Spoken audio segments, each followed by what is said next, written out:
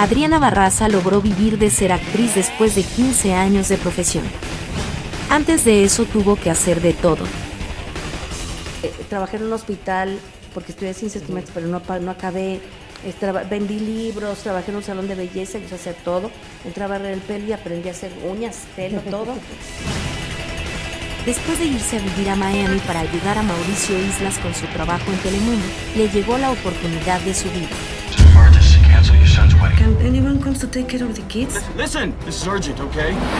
Adriana Barraza fue invitada por Alejandro González Iñárritu a participar en Babel.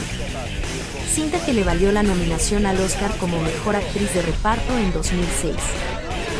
Imagínate, los 50 años, por fin podía vivir yo de ser actriz hasta este momento, gracias a Dios, aunque sigo siendo maestra y pues cuando puedo eh, y cuando me da el tiempo y eso, pues soy también ejecutiva. La actriz recientemente estrenó la película El último vagón en Netflix. ¡Jóvenes! ¡A sus lugares como nos hallamos! Y no cerrar la escuela. Uno, dos.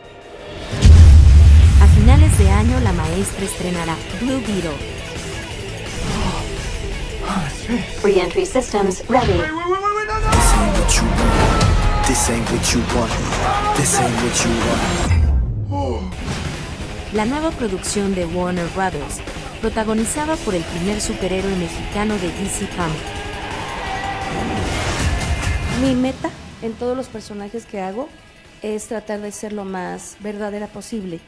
Y creo que sí, e, es bien difícil porque cada personaje es diferente y cada uno es un reto.